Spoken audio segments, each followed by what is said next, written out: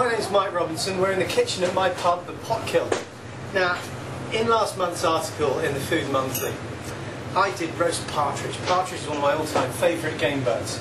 Now, what we did then was French partridge, simply roasted, because roasting a game bird is a knack. It's not hard, but it has to be done right and for the right period of time.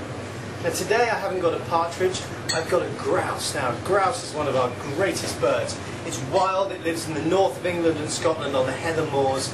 It can't be farmed, it can't be bred. It's a truly special thing to eat.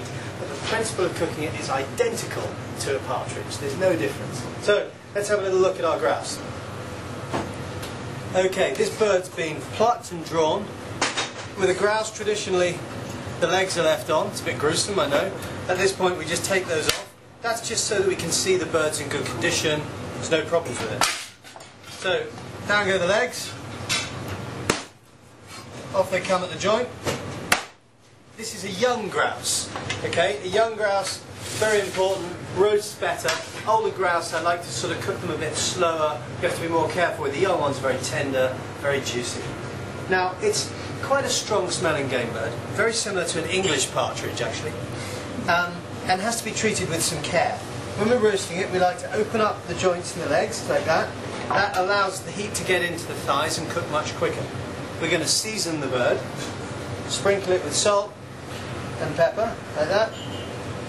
Brilliant. I'm going to get a little bit of butter on the bird, like so. And I'm going to shove a little bit up it, like that. I'm going to take a little sprig of herb, thyme there, pop it inside. Nice flavour on the inside here.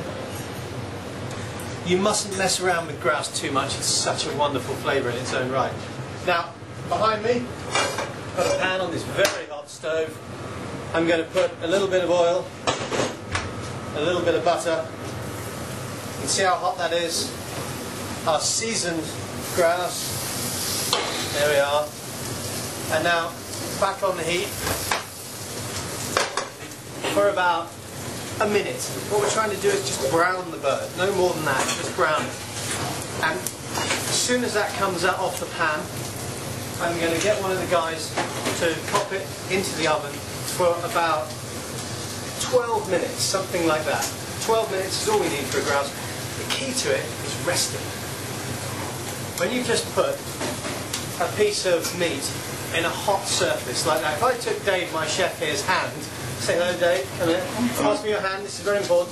If I took his hand and I pushed it down onto a hot surface, okay, he'd knife me, punch me, but what would happen is the hand would close up like that. Sorry about the scar. Okay? And it, instantly, it's this reaction. Now, over time, you feel you can relax. So the muscle fibers contract with the heat, and then slowly as they relax, they open up. This is important because if you cut a freshly roasted piece of meat, the muscle fibres are under tension, all the juices will come spewing out because they'll be squeezed out like a sponge. Once the meat's relaxed and rested, the juices will be retained, it'll be pink, it'll be delicious, so the resting time is everything. Okay.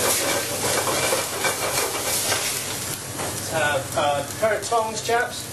Guess okay. Thank you. Have a flavour this. A little bit more. Okay, I'm just going to throw a little sprig of rosemary in there, just for aromatics.